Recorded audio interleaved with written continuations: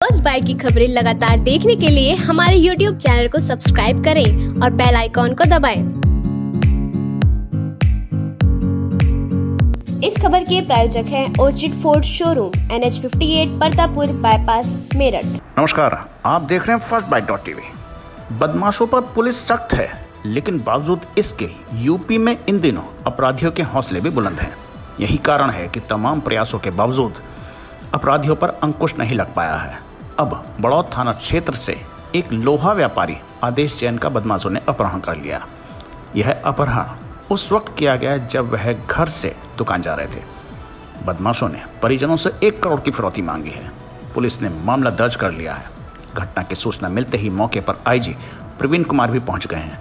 बदमाशों की धरपकड़ के लिए आठ टीमें लगाई गई हैं।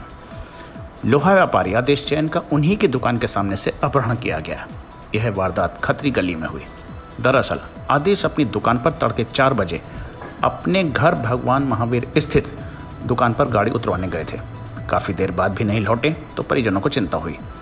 दुकान के नौकरों ने घर बताया ही था कि तभी बदमाशों का फ़ोन भी आ गया और उन्होंने आदेश जैन की एवज में एक करोड़ रुपए की फिरौती की मांग की।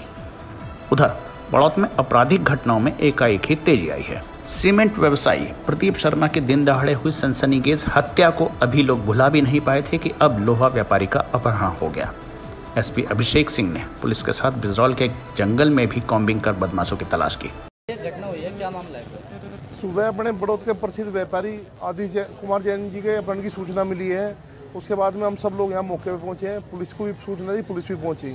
लगातार व्यापारी के में घटना हो रही। पहले प्रदीप आत्रे जी की हत्या हुई। अब आदि जी का अपहरण हुआ। ये चिंता का विषय है और पुलिस को इसमें ठोस कार्रवाई करनी चाहिए जो कि नहीं हो रही है।